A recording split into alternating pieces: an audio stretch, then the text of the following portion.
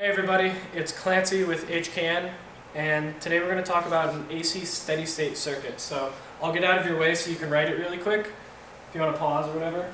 So that's a circuit. and the goal is to find Vx and Iy. So we have two sources, one on the left and one on the right. This is V1, and it's written in polar form right now. So if you just watched our video on polar coordinates to rectangular coordinates, this will be easy. If you need to go watch that, I'd recommend it. Otherwise, we'll start converting these to rectangular form, because it's easier to work with rectangular form mathematically. So always convert them to rectangular form first. So let's see, we have V1 equals 10 with a phase shift of 0 and that equals 10 times cosine of 0 plus j sine of 0. Sweet. And that equals, well, sine of 0 is just 0, and then cosine of 0 is 1. So we'll have 10 times 1, which is 10. And now we look at V2. V2 is 5 with a phase shift of 90. So we'll have V2 equals, it'll be 5. And then with a phase shift of 90, we're going to have cosine of 90 degrees plus j sine of 90, that's a 9, not a g, 90 degrees. So cosine of 90 is 0, sine of 90 is 1, so we're going to have 5 times j. So V2 equals j5. Just a quick note, keep your j's as the first term. You don't want to have 5j, because if you have a lot of terms in front of the j, you might not be able to tell right away if it's real or imaginary. So, keep the j in front. So now we have v1 equals 10, and v2 equals j5. so now let's do some nodal analysis. This is conveniently called vx, and we'll call this one vy and we'll just go ahead. It's a pretty straightforward thing, like you've been learning all semester long, just nodal analysis. So we'll have Vy minus V1, and remember V1 is 10, so we'll have Vy minus 10. That's all over negative J2. Then we'll have Vy minus 0 over 10. So Vy over 10. And then we'll have Vy minus Vx over J8.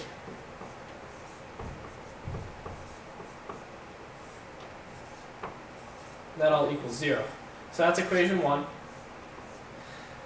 And then we have Vx. So before I move forward, something I wish somebody had told me when I first started doing impedance is that you can treat impedance just like resistance when you're doing node voltage. So rather than trying to think of this like, what's, why is it complex or whatever, just consider it to be a resistance for right now.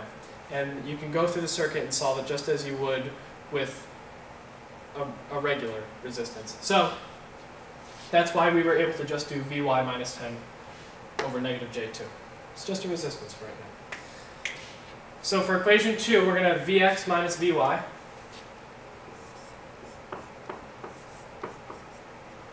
And that's all over J8. And then we're going to have Vx minus 0 over negative J6. So Vx over negative J6. And then Vx minus V2, which is just J5. So Vx minus J5 over 3.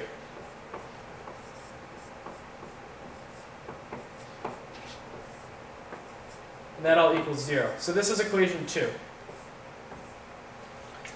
So I'll go one step further, but the main point here is to help you with configuring this AC steady state circuit and not solving a system of equations. So we're just going to simplify by one more step here. So we'll have Vy times negative 1 over J2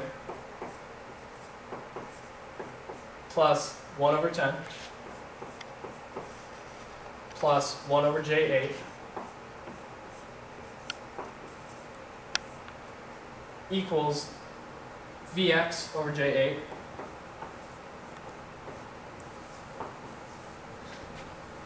and then these negatives cancel, so we're going to have a positive brought to the other side, so we'll have uh, minus 10 over j2, which is minus 5 over j. So that's equation 1, just written in a different form. And then for this one, we'll have vx, and we'll have 1 over j8 plus 1, or minus 1 over j6 plus 1 over 3. And that all equals, let's see, Vy over J8. And then plus J5 over 3. And that's equation 2. So, like I said, we're not going to go through and solve these. We have the answer though. So, after you go through and solve this, remember the initial goal was to solve for Vx right here which is the same Vx that's right here. So once you plug and chug a little bit, what you end up with is Vx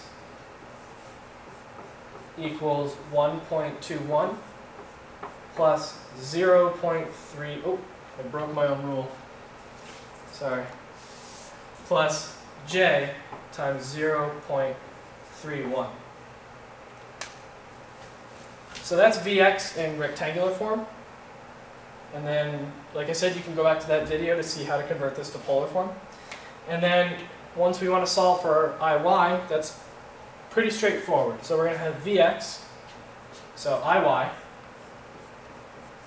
equals Vx minus V2 over 3 ohms. So Vx, which is 1.21 plus J 0.31 minus J5, which is V2, all over 3 ohms. And this equals 1.21 plus, let's see if I can do this in my head, uh, 4.69.